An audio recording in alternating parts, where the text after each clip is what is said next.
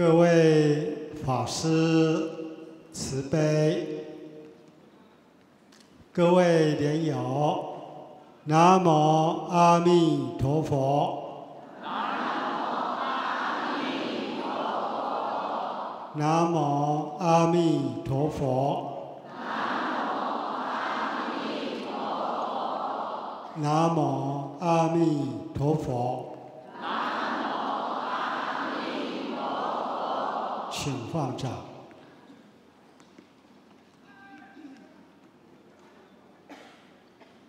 再过半个月，就是清明节。清明节是我们华人，也就是汉民族的重要节日，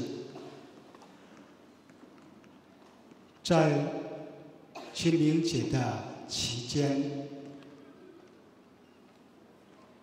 华人们都会回到故乡祭拜祖先，回到祖先埋葬的地方去扫墓。祖先坟墓如同祖先的家，作为子孙，虽然不能天天陪伴着，但至少一年一度来到祖先的居住处，清扫坟墓，整理墓园，同时备办着所谓香花、素果以及蔬菜来祭拜。所以清明节对我们来讲是很重要的一个节日，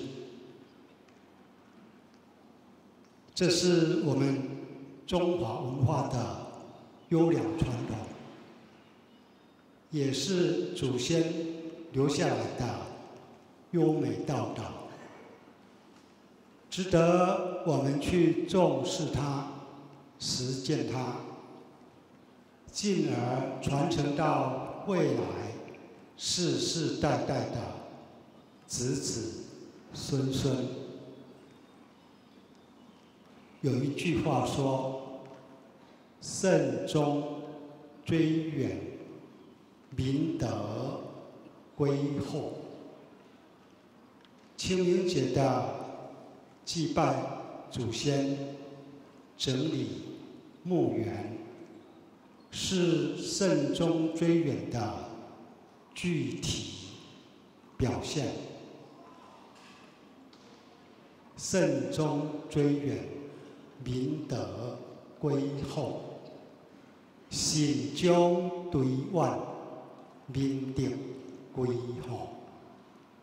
慎终就是父母或者先人去世的时候，基于知恩、感恩、报恩的心，儿孙们怀抱着。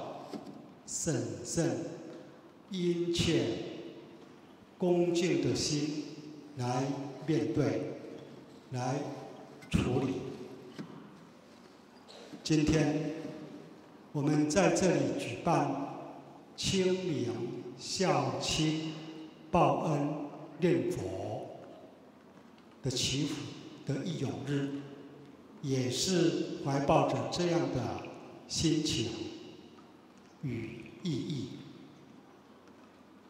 我们的生命来自于父母，来自于祖先。我们之所以能够健康的成长，乃至于立足于社会，无不是父母的恩德。父母对我们的恩德，可说是昊天罔极，如同太虚空那么广大，没有边际。一般说，比山还要高，比海还要深。是的，我们要体会。父母生我们，养我们，使我们健康，使我们能立足于社会，乃至使我们能够有这个人生而遇到佛法，在佛法八万四千法门当中，我们。以智慧选择净土法门念佛，能够在今生就获得了学佛的目的。学佛的目的在于解脱六道的生死轮回，也在于。究竟的圆满成佛，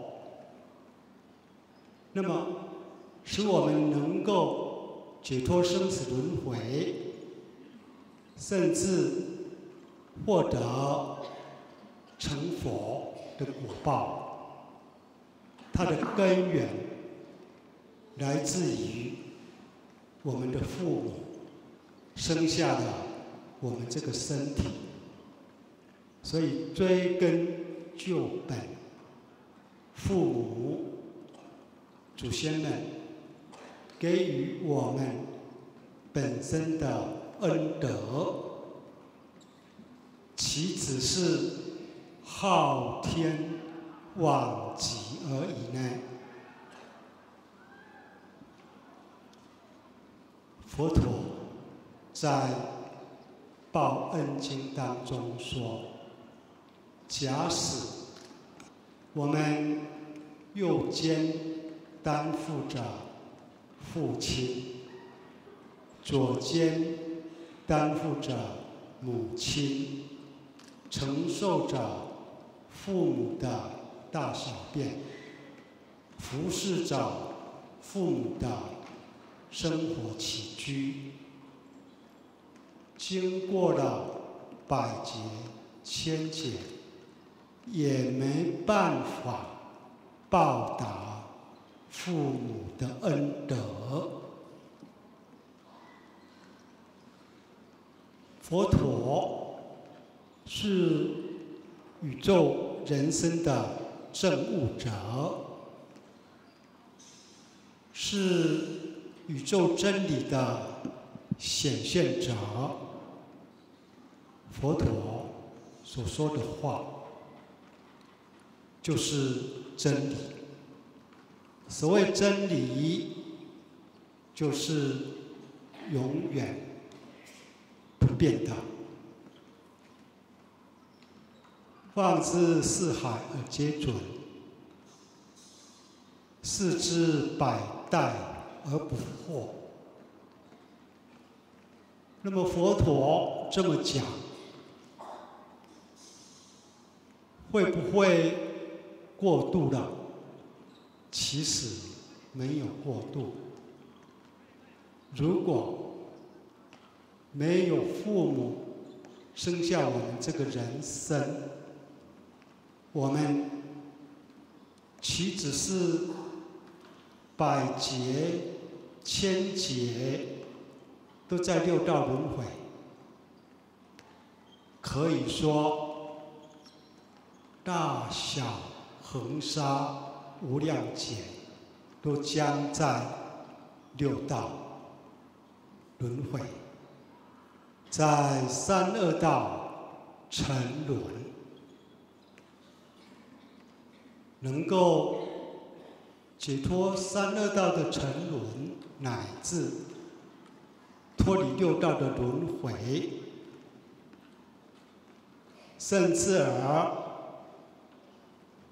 往生弥陀净土，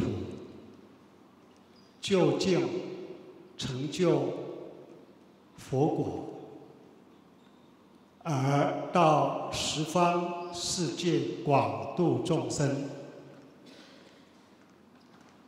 推起根本，就是我们有这个人生，就是父母生下的我们这个人生，岂不是父母对我们的恩德，不只是昊天罔极呀？真的也是不可思议的恩德啊！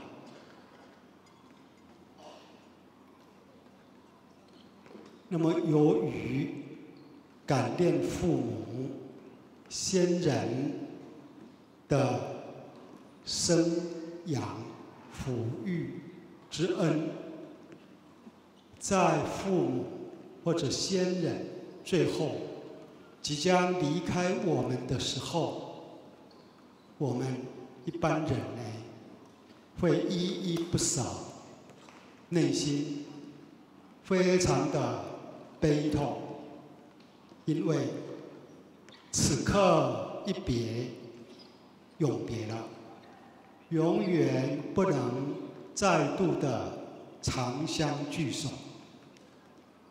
因此，在那个时刻。期望父母、祖先能够一路好走，并且有一个安乐的归处，这是一般人孝的一种表现。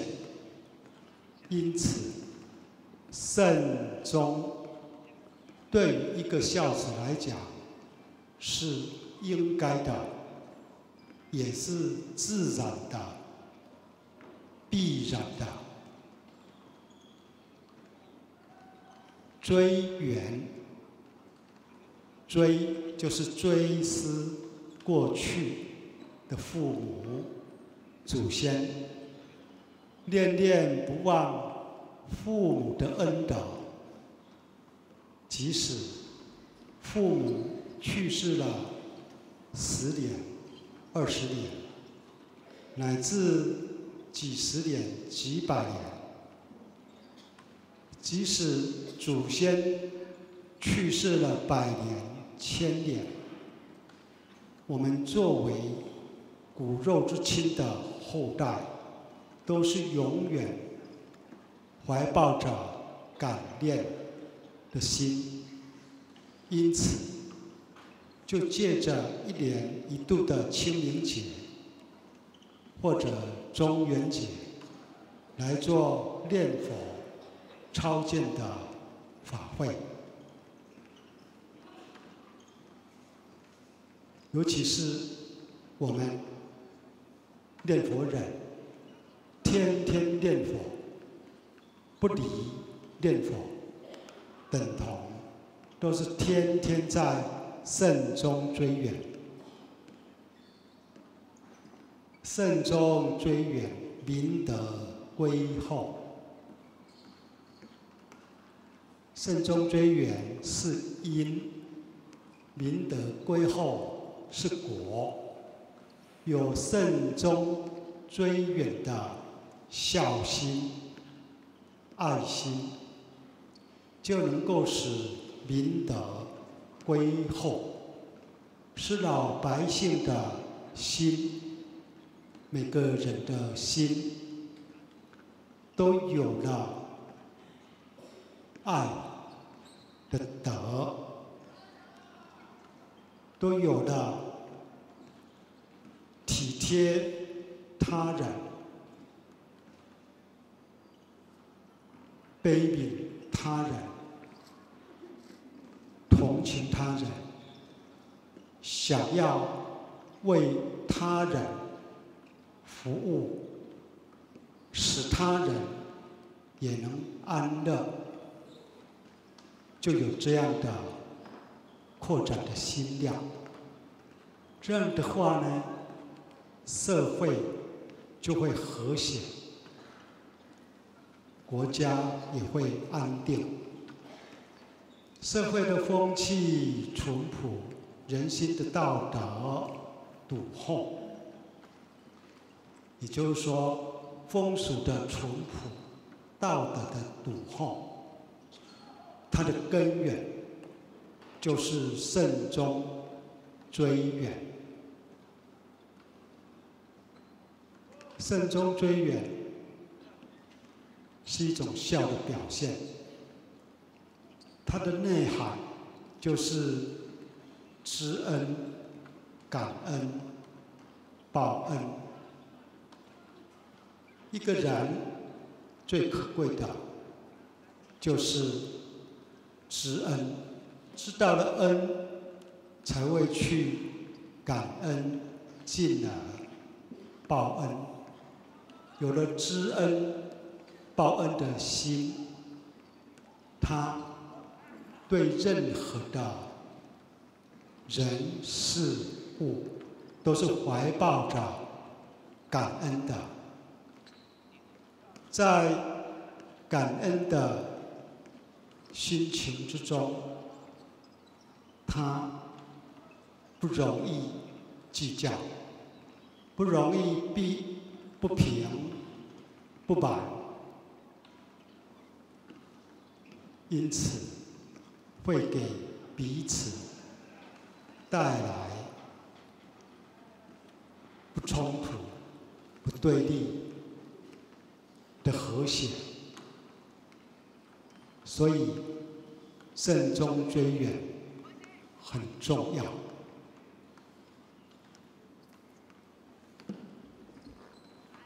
孔子在《礼运大同篇》就说：“不独亲其亲，不独子其子。”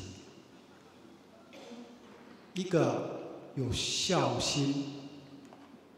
进而有爱心的人，他不只是敬爱孝养自己的父母，不只是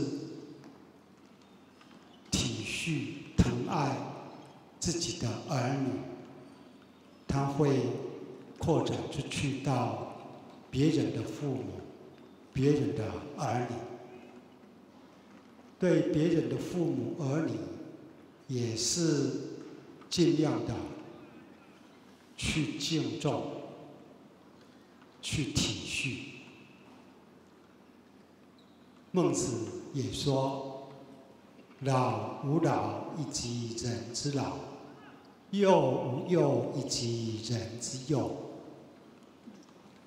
老吾老，就是。奉养孝敬自己的老人家，也就是自己的父母，同时推广这种孝心，把别人的父母也如同自己的父母看待，来敬重他，甚至。奉养他，同时又无幼以及人之幼，疼爱、体恤自己的儿女，也推广着爱心，把别人的孩子看成是自己的孩子，来疼爱他，照顾他。所谓人饥己饥，人溺己溺，先天下之忧而忧，后天下之乐而乐。这一种亲亲而人民，人民而爱物，它的根源就是一个孝。所以说，百善孝为先，这一些善事，这一些德行，它来自于孝这个根本。我们中华文化很推重孝，因为它的根源就是孝。而我们佛教讲慈悲，就更为广大。怎么广大呢？真正的达到了慎终追远的意义。为什么呢？儒家。的思想，它只是着眼在人啊，以人为本位，它没有扩展到其他的众生，也就是我们所能看得到的动物，以及看不到的鬼魂。乃至地狱的或天上的众生，他不晓得有这样的众生，同样的要去想，要去慎终追远。同时，儒家也不晓得有善恶报应、三生因果、六道轮回，所以他是以。此时，此人为基础的，可是佛教是通贯三世，过去、现在、未来，是远达十方众生，过去。乃至现在未来的十方众生，都与我们有父母、兄弟、儿女、六亲的这个关系。同时，一切众生都有佛性，都是未来之佛。所以，我们所要慎终归远的。就更为广大。那要怎么样的对于过去、现在、未来的十方众生父母来慎终追远来？就是念佛。就是弘扬纯正的净土法门。我们念佛，自然就能够超度我们的父母、我们的祖先。我们劝人念佛，他也能超度他的父母、祖先。大家都念佛。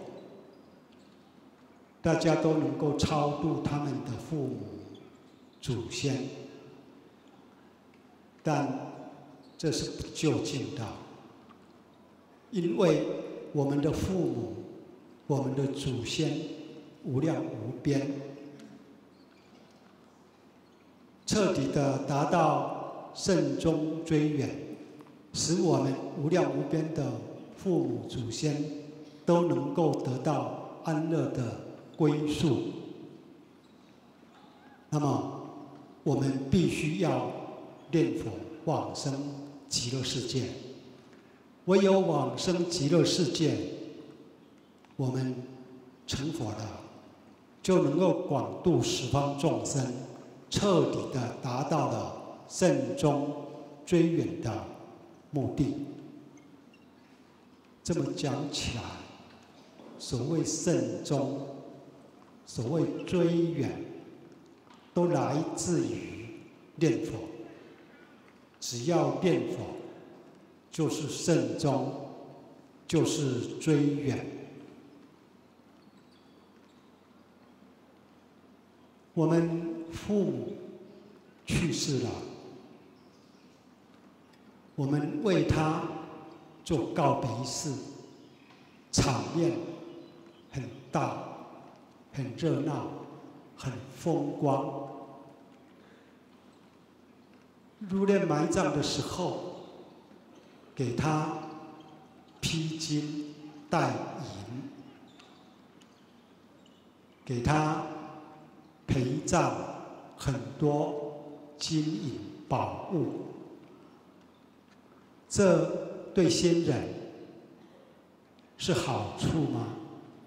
其实，这不是为先人造福，而是为先人带来祸患，损失天先人的福报。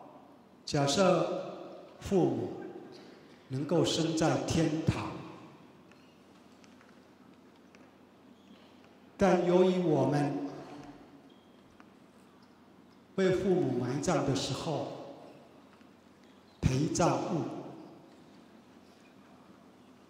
过为高贵，当下父母的福报立刻享完了，失去了，本来。可以升天，结果呢，却转为生人。本来可以在人间雍容华贵，却成为贫困之人；或者本来还能够生而为人，可是因为子孙的无知，厚葬过。埋葬过于丰厚，使得父母连人生都失去了，而堕落恶鬼或畜生。这样说起来，我们要慎重。如果这样的做法，就不是真的慎重，反而是。害了父母，那就不是慎终了。所以唯有念佛，在他临终的时候，为他念佛，引导他念佛。所谓助念，帮助，帮助他，使他能够心中忆佛。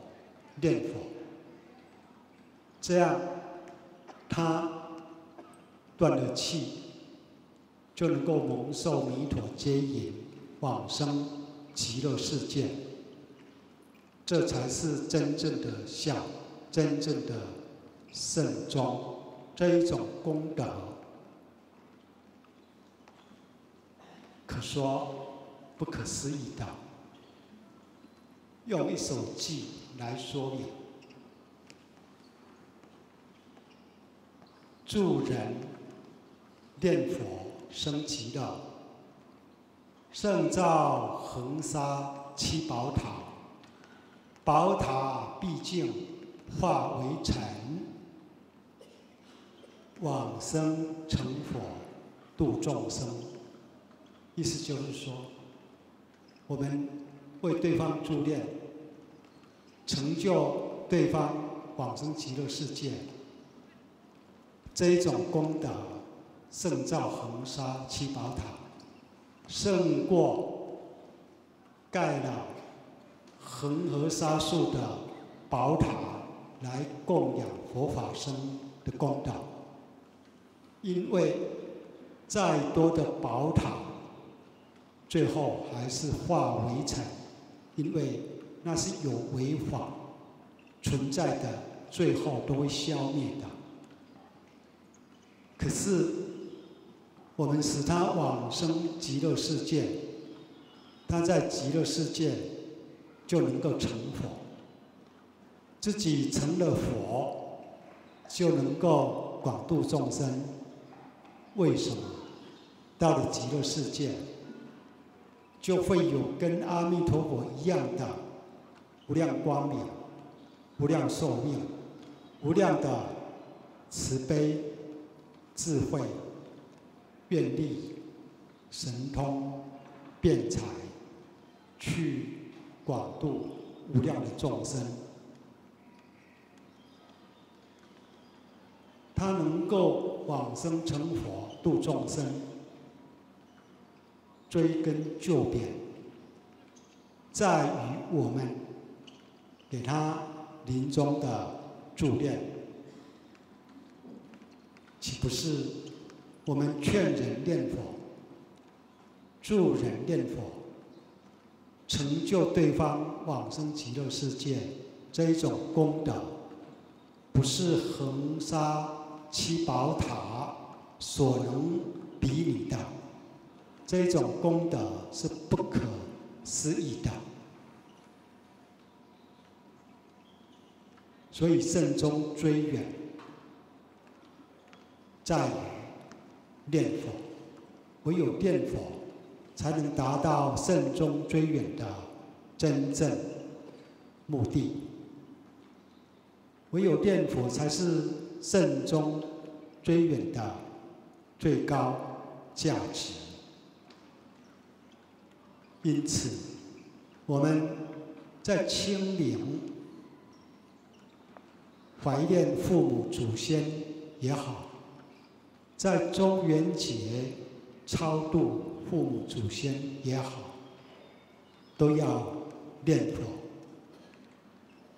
而且只要念佛，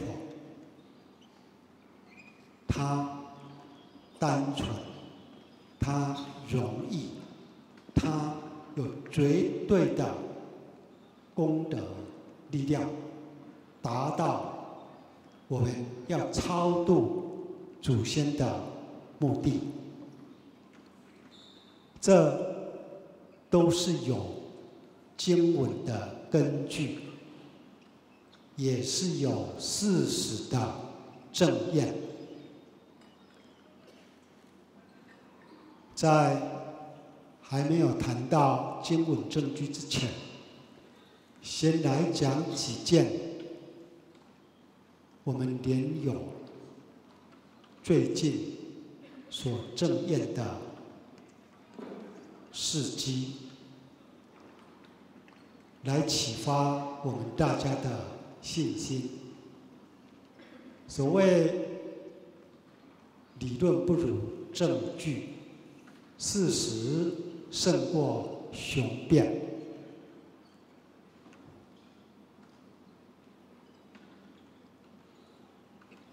我们当中有一位莲友，他是新店念佛会的莲友，法号叫做佛定，他是女众。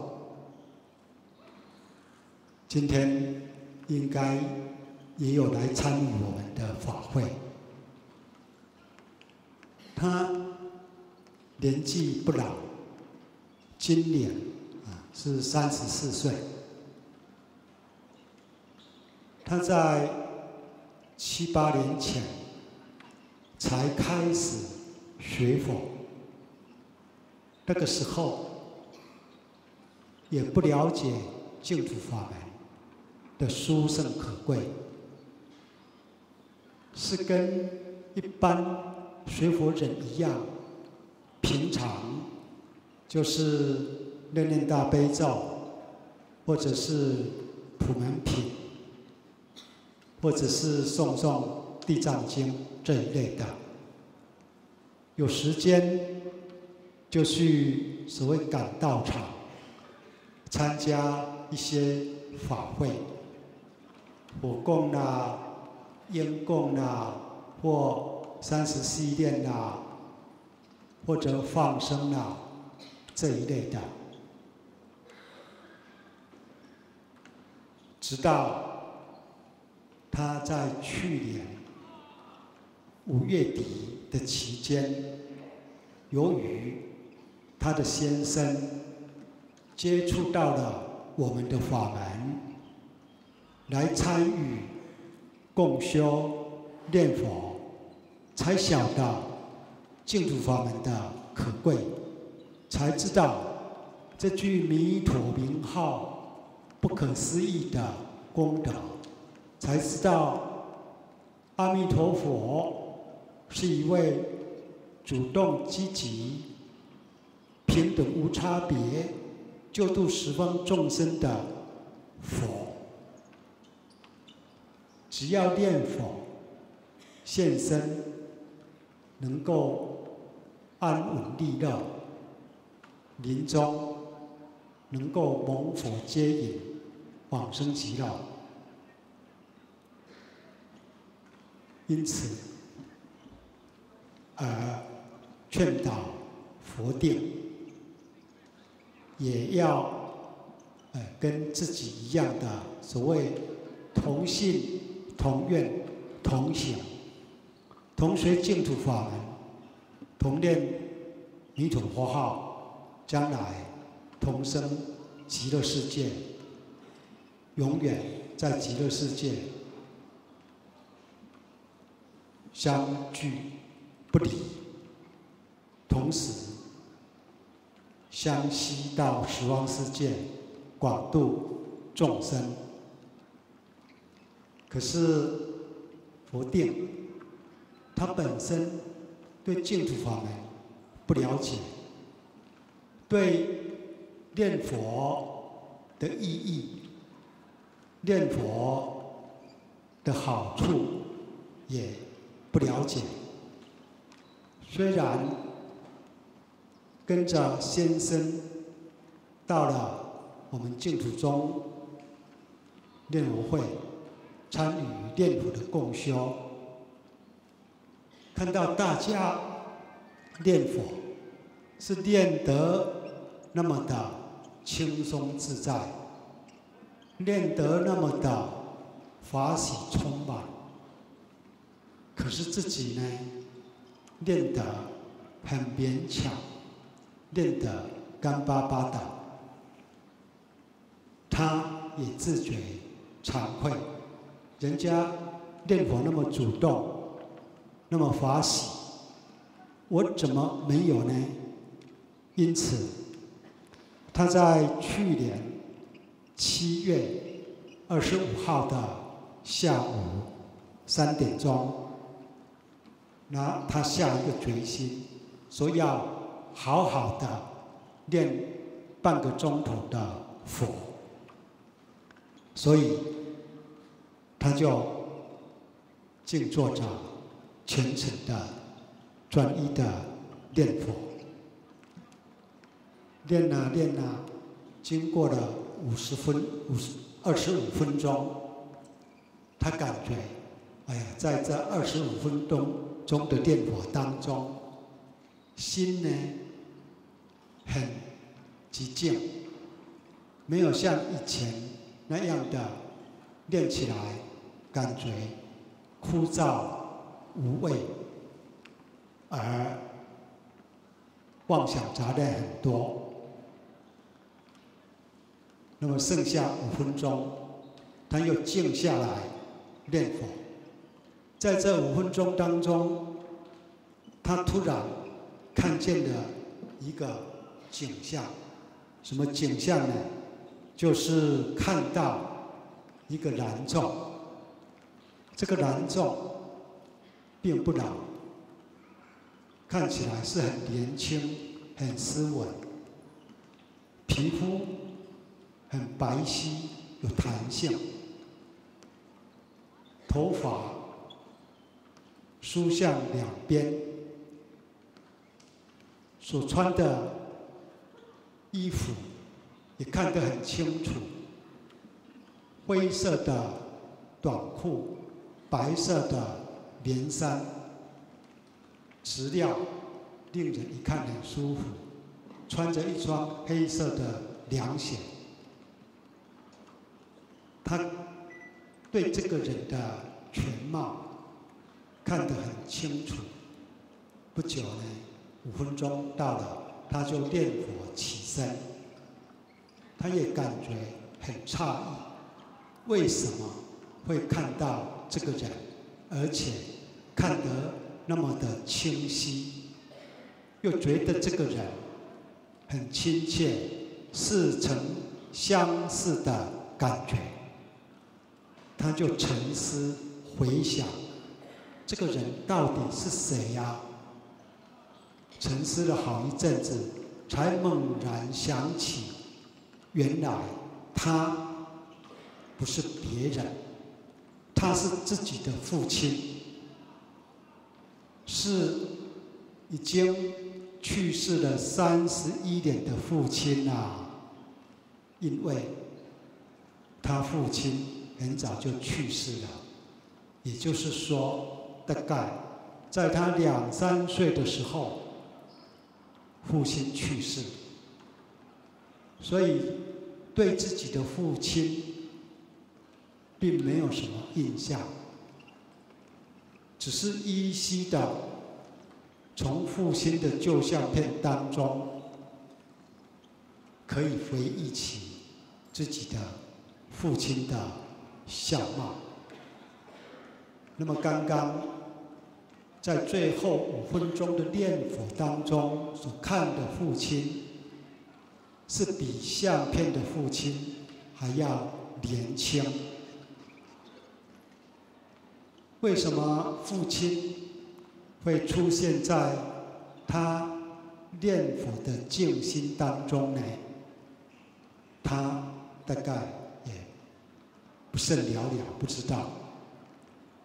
那么又经过了六天，也就是七月三十一号的下午，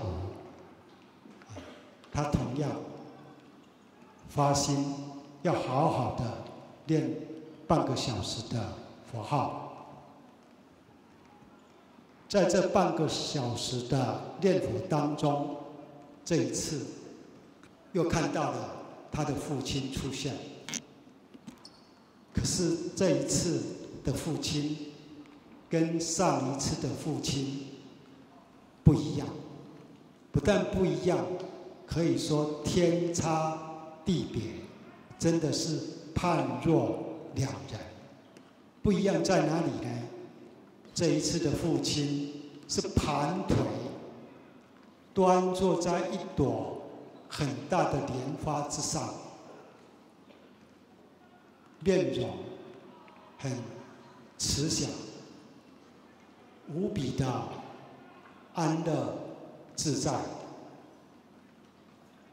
而且身后散发着光明，这种金色晃耀又。鲜亮的光明，折折生辉。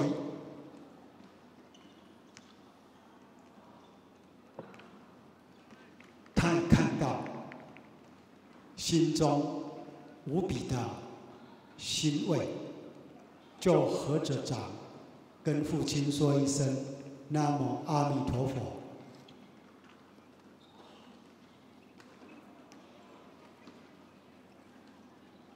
他就下座了。父亲，他的父亲是他小时候去世的。到了去年，是已经经过了三十一年。三十一年当中，父亲都没有解脱。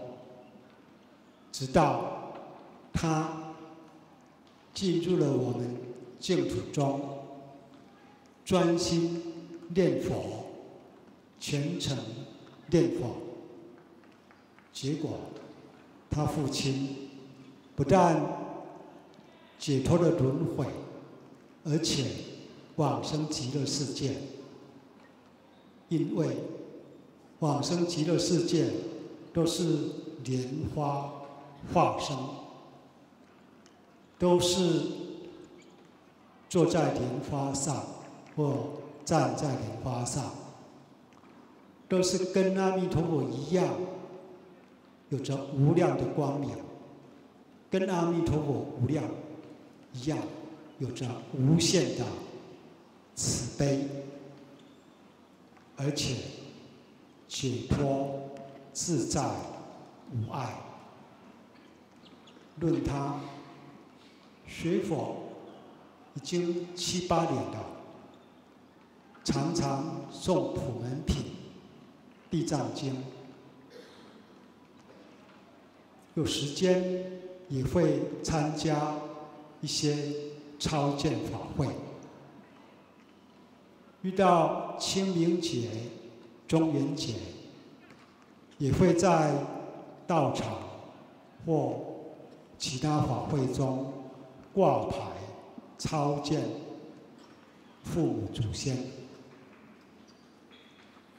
但可说效果不彰，还不如自己一个人在自己的家里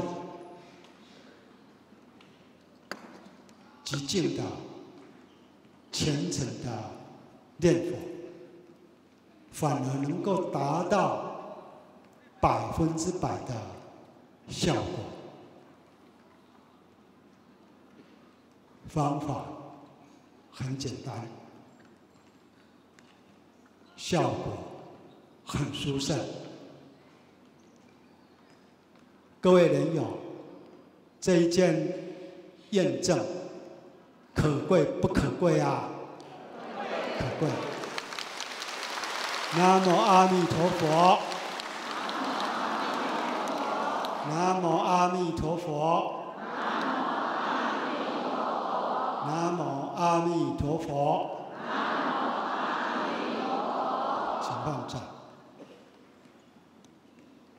论诵经啦、持咒啦、其他法会啦。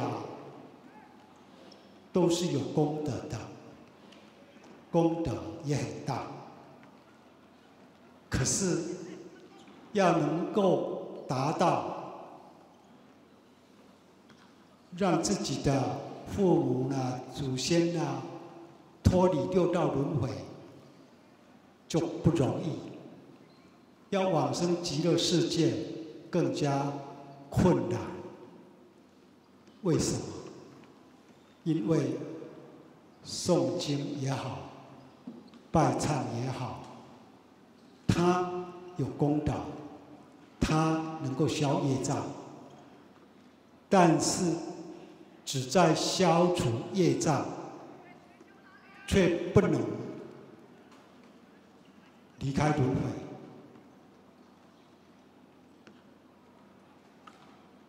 论业障，我们的业障。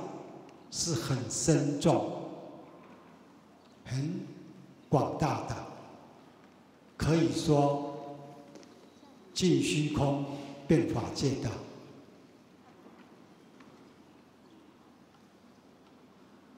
在《华严经》里面就说，我们的业障如果有体相的话，尽虚空是。不能容纳的，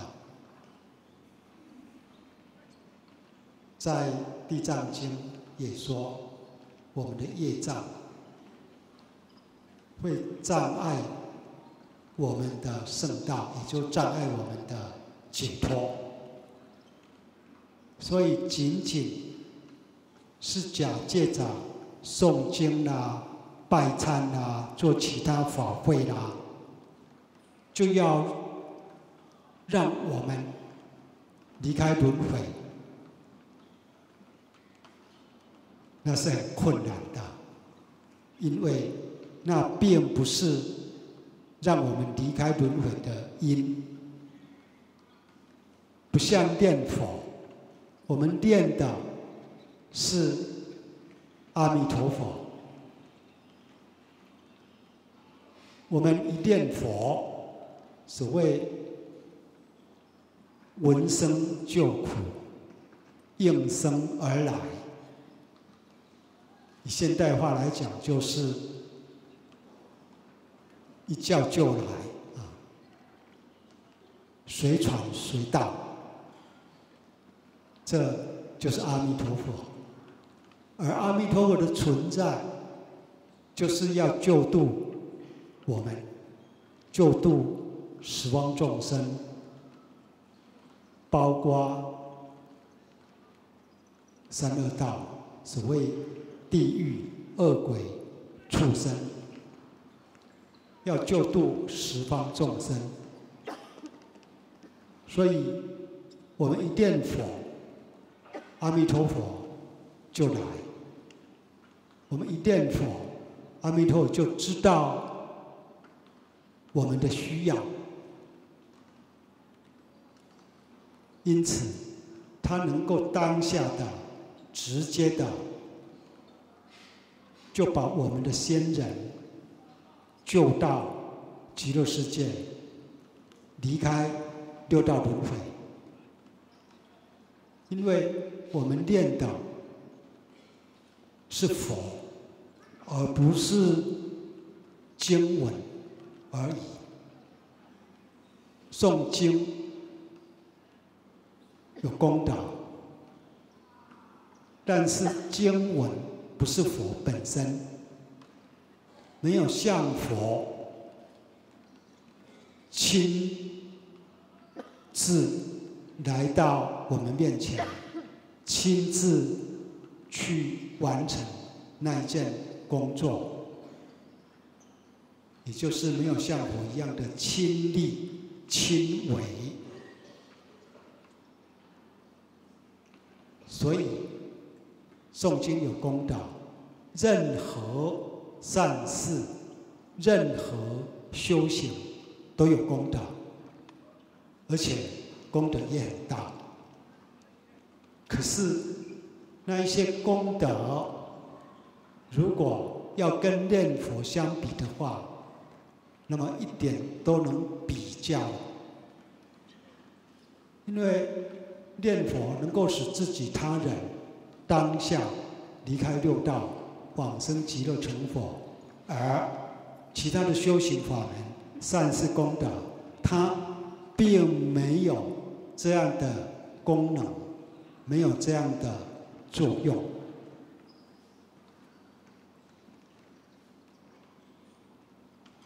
因此，我们要自利利人。自度度他，要使现生有利益，使将来有利益，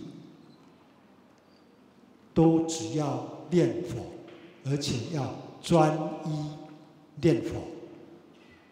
因为专，它本身就是纯粹的不杂，好像聚光灯，它能够。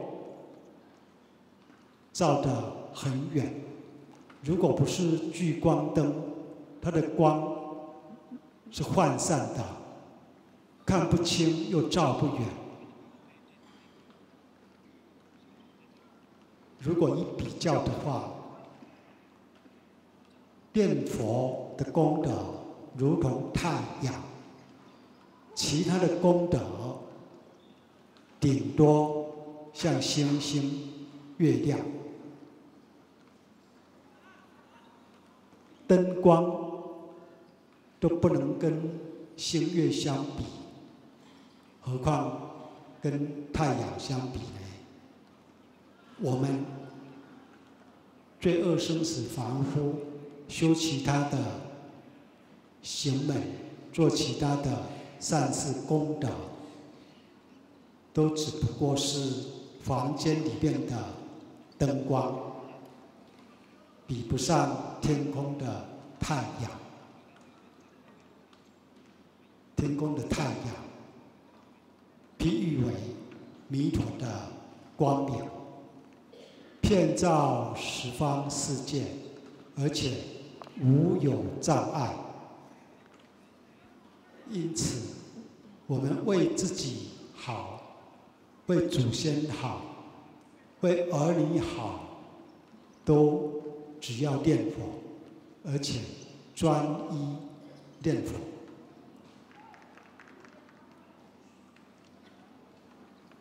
刚刚讲的这一件验证，是我们自己的莲友，时间是在去年七月底。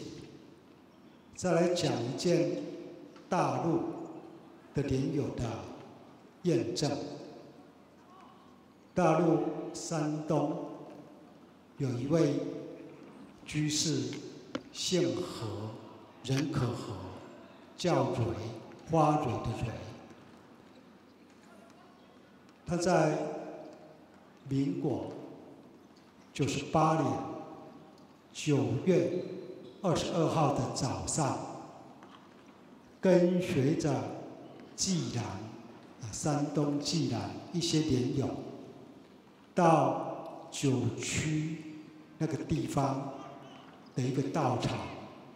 去共修，一到这个道场，看起来道场不是很大，可是却很清净，小院很整洁，这里的莲友很亲切，让外地来的人有回家的感觉。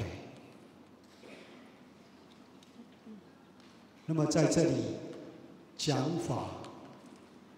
的老师叫做肖老师，这个肖老师很会讲话，他时而动情而委婉，时而真情而宣说，都是在讲阿弥陀佛的四十八大愿，谆谆的善劝导大家要接受。阿弥陀佛，平等、无条件的救度，极尽苦口婆心的讲解阿弥陀佛的慈悲救度，说明在这末法时期，只有靠阿弥陀佛的慈悲愿力，才能够脱离六道轮回的苦海。这个肖老师可以说声情并茂的宣说，使得当时在座的莲友们一听能够容易了解，呃，信心十足，个个可说法喜充满。讲经说法晚了，这个肖老师就带大家。念佛了，那么念佛就跟我们一样，是一句一句的“南无阿弥陀佛”。我们在这里是念闽南语，他们是念国语，也就是他们所说的普通话。就在“南无阿弥陀佛，南无阿弥陀佛”的念佛声中，他看到了。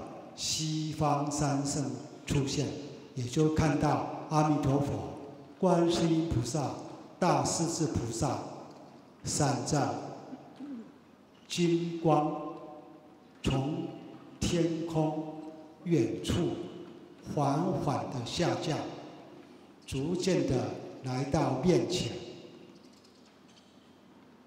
同时，阿弥陀佛的身旁还有。一个硕大的莲花，就在他看到了西方三圣，呃，非常兴奋的时候，又看到旁边啊有一个穿着灰色衣服的男性长者，也向着西方三圣走去。这个长者背影是这么样的亲切，这个姿态是这么样的熟悉。原来他也不是别人，是他的爸爸。是他死去了二十点的爸爸。他欣喜若狂，拼命的喊他爸爸：“爸爸，我在这儿啊！你有没有看到？”他爸爸似乎听到了他的呼叫。他爸爸是一脚踏上了阿弥陀旁边那个硕大的莲花，听到了他这个女儿的呼叫，就转过头来对他讲说：“净土见，也就是弥陀净土相见吧。”说完，他爸爸本来是穿灰色的衣服，可是那个时候呢，已经转为身披袈裟，双手合掌，坐在莲花上，看起来就像地藏王菩萨，就像出家人。哇，他这一看啊，更加的。兴奋，无比的安慰。想不到，他去世了二十年的父亲，主动的被阿弥陀佛救到极乐世界去。他原来对念佛是不了解的。为什么要念佛？念佛本身有什么利益？有什么意义？而自己的父亲一直在冥界，还没有解脱，他也都不知道。他只不过是来这里参加念佛，就轻易的。轻松的度了自己的父亲，不但超见父亲离开六道轮回，而且使父亲乘坐着莲花，跟随着弥陀到极乐世界成佛去了。在这宇宙当中，少了一个。轮回痛苦的众生，在这宇宙当中，多了一位广度众生的佛。这个佛，就是他的父亲。他父亲的成佛，也只不过是他跟随着大家念佛，就这么容易的，这么轻松的。这么直接的、立竿见影的，就超度了自己的父亲。各位人友，这个验证也非常的殊胜可贵，是不是？南无阿弥陀佛。南无阿弥陀佛。南无阿弥陀佛。请放上。念佛功德无边，它超越时间，超越空间，超越任何的烦理障碍。他真正的无障碍，自己的先人去世了三十一年，去世了二十年，经过几十年之后的现在，我们才念佛，就自然的不假祈求的度脱了。自己的父母祖先，可说是超越时间线，也超越空间线。我们在这里念佛，别地方的仙人，当下被超度了，超越时间，超越空间，唯有念佛，因为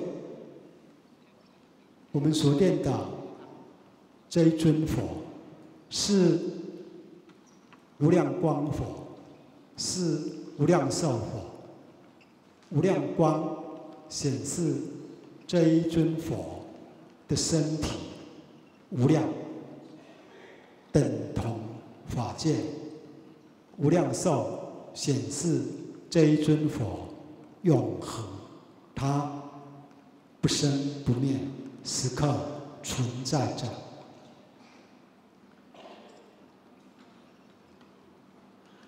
所以慎终追远，超见仙人。只要我们当地当下虔诚念佛就可以，未必要到寺院或道场或参加任何的法会。当然，如果有缘。念佛人相聚在一起，共修念佛，那一种气氛，那一种功德，就更加的殊胜。好像木炭，如果放在仓库，显得是冰冷的。如果聚集在一个火炉之中燃烧，彼此的温暖跟他的佛眼就更加的旺盛。念佛能够超度祖先，那么对于自己的子孙。父母念佛是否同样达到超度的效果呢？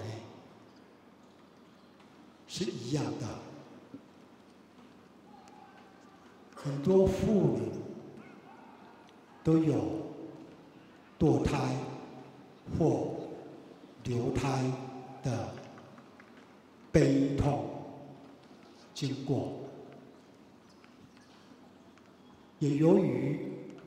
对自己所堕胎、流胎的婴儿，深深的怀念，也深深的怀旧，就抱歉，期盼自己的流胎、堕胎的婴儿，尽管跟自己没有缘，也希望他能够到好的地方去。甚至能够解脱，因此外边就有很多地方在做超见英灵的法事，甚至供奉英灵，这能达到效果吗？是很难的。那要怎么样达到效果呢？如果以电佛来讲，是容易的，非常的容易的。在台南有一位年轻的妇女，在民国一百零三年，就两年前。三月份的时候，她又怀孕了，是第二胎，她就满怀高兴，啊，因为她有了一个孩子，希望再添一个孩子，那么终于怀孕了，抱着欢欣的心情。准备迎接着第二胎婴儿的到来，因此他都按规定去做产检啊。可是不幸的，经过了三个月，也就是前年六月份产检的时候，医生发现到他肚子里面的胎儿不动，没有在动，也没有在呼吸，表示这个胎儿会成为死胎，必须要引产。突然接受这么不幸的消息，作为母亲是非常的难过、悲痛的。这个婴儿呢，肚里边的婴儿就被引胎出来了，等于是哎流产一样的啊。那个时候他非常的伤心。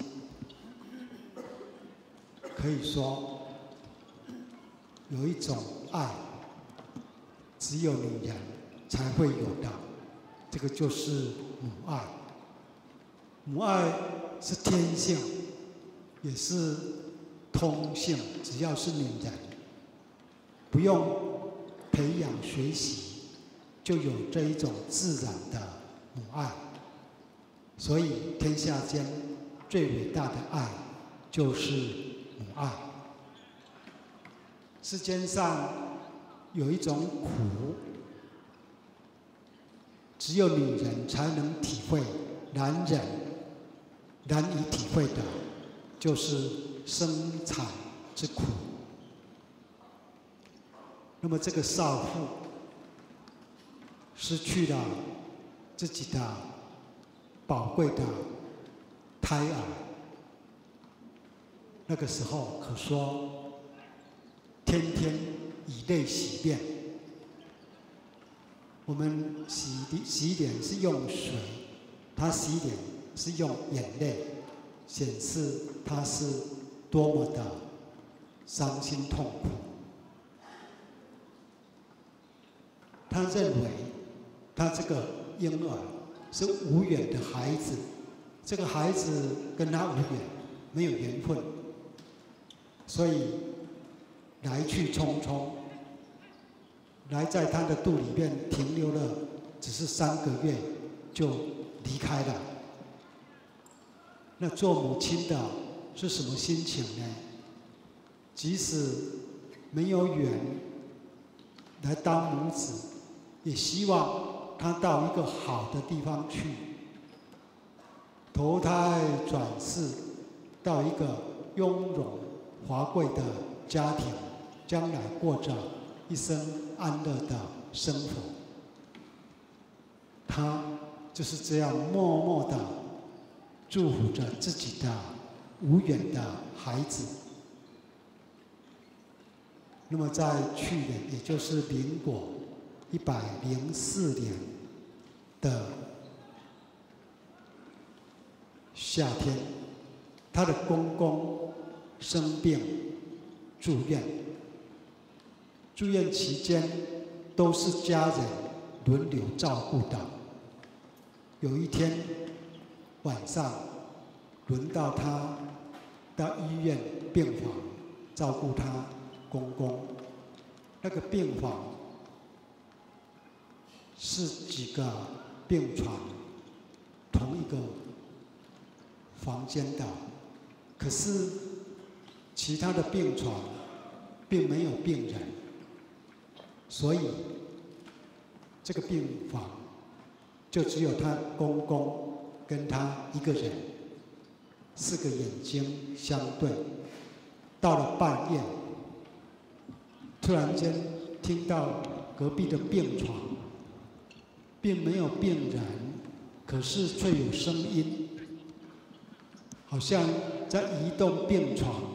的声音，一听到这个声音，不知不觉很恐怖，鸡皮疙瘩所谓生嘛为数。他想到医院本来就是比较阴森的，往往这个无形众生最多的就是病院、医院，所以他那个时候心中很恐惧。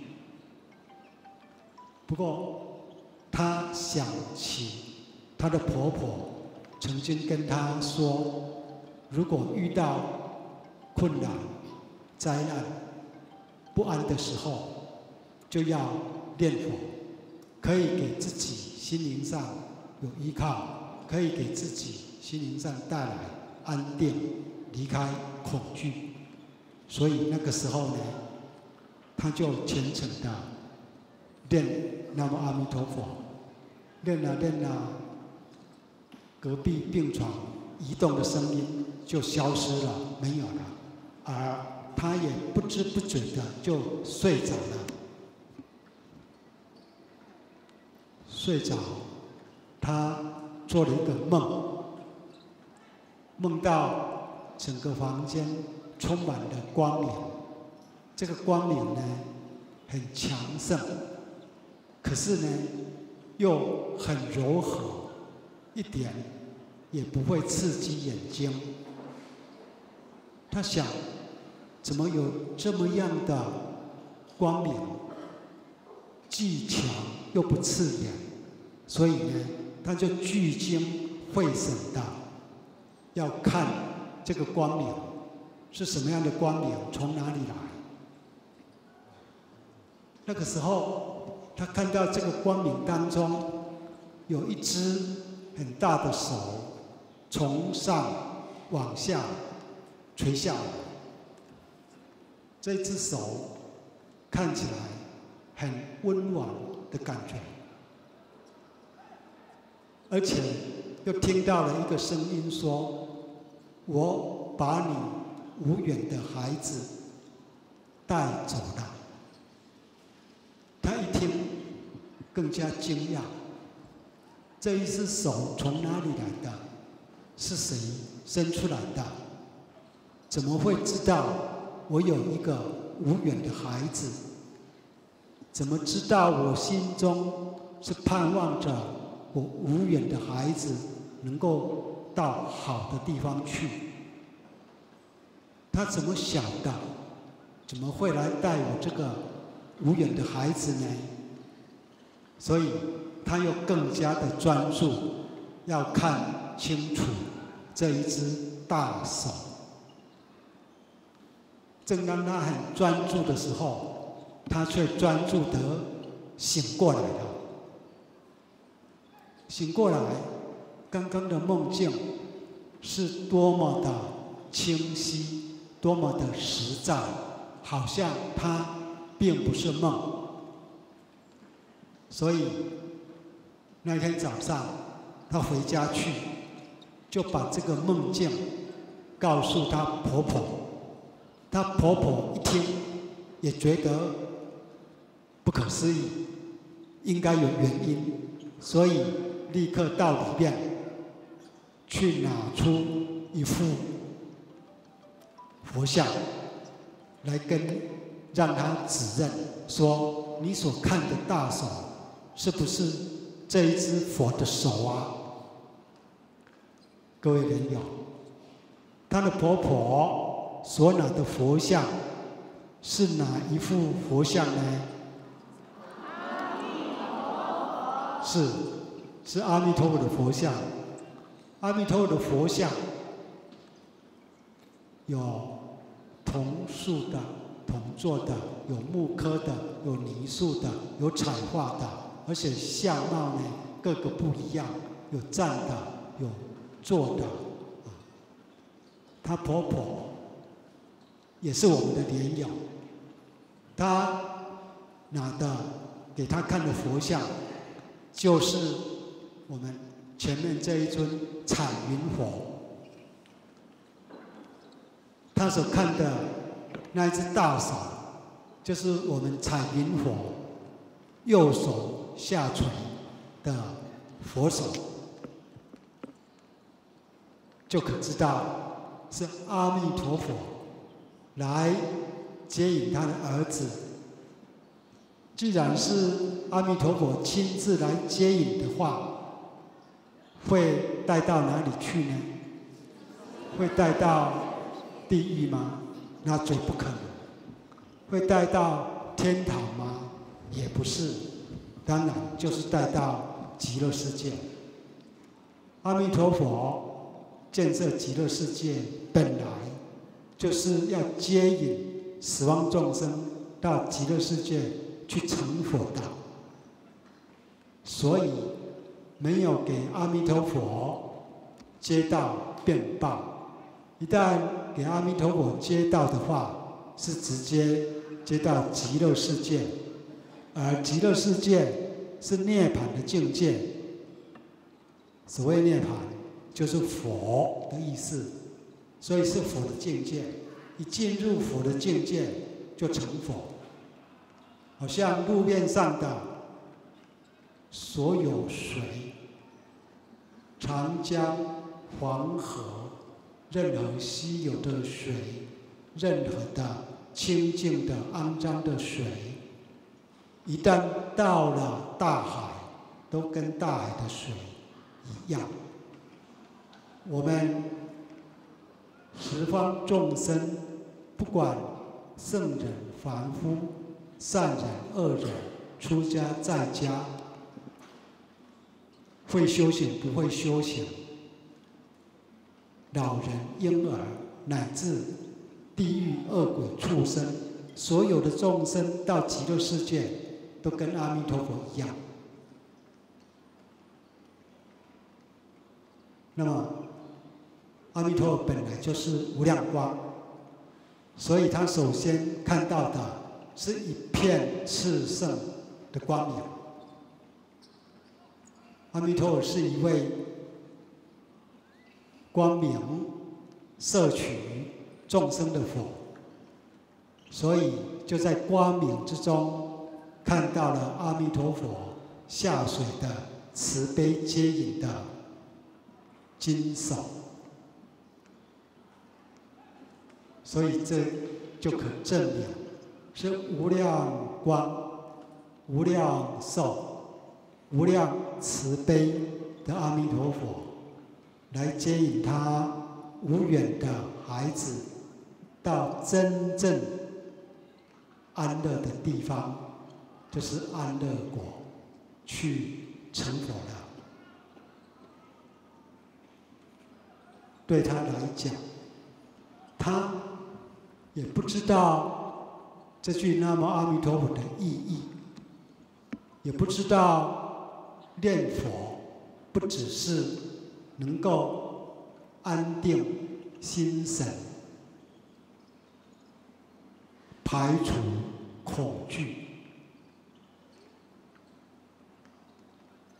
对于念佛其他的功能效用，他是一概不知道的，只晓得啊念佛啊念佛可以安定心神，可以让自己有依靠不恐惧。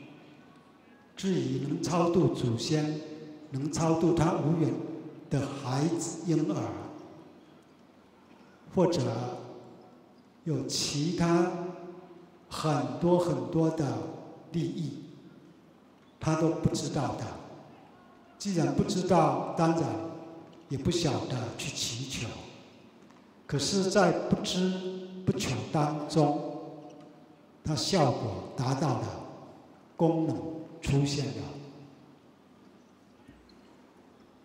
因为念佛本身就有那样的功能利用，也就是有那样的效果，有那样的作用。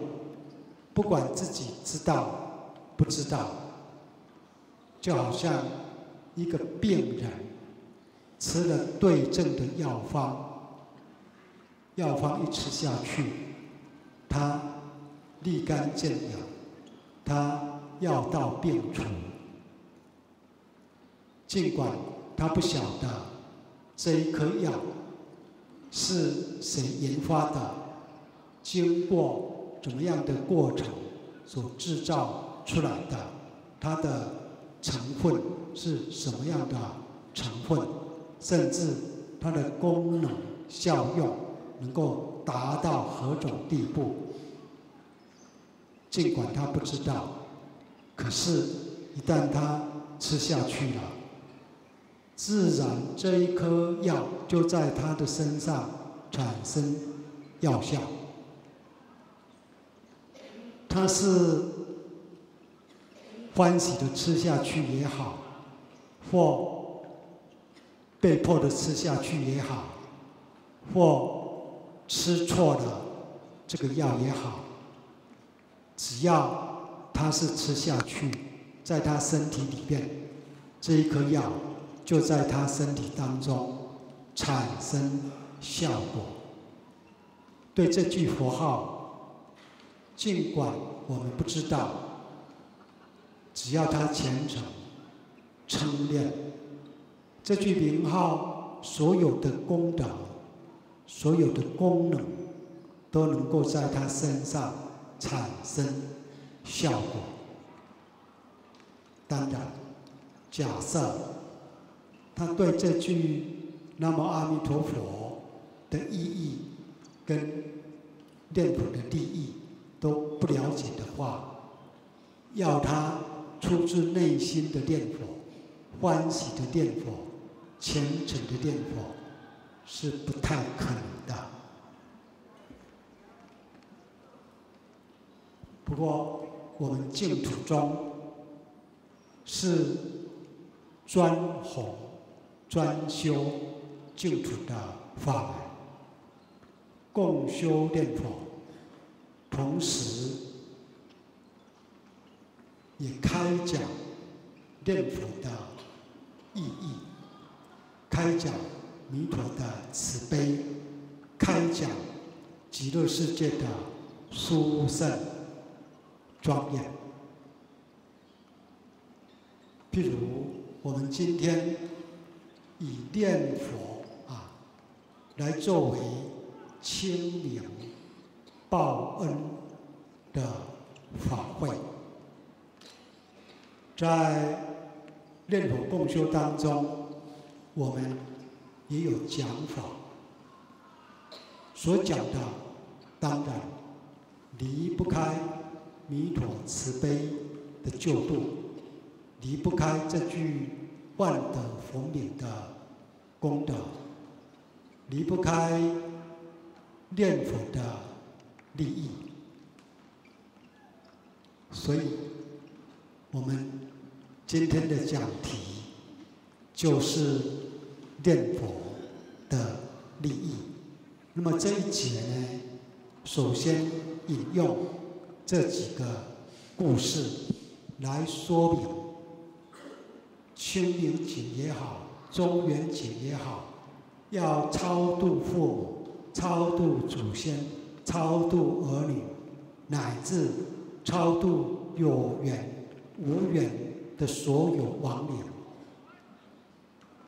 很简单，每一个人都能够做得到的，就是念佛。只要念佛，专一念佛，只管念佛。这一节就说到这里，接下来我们要精行念佛。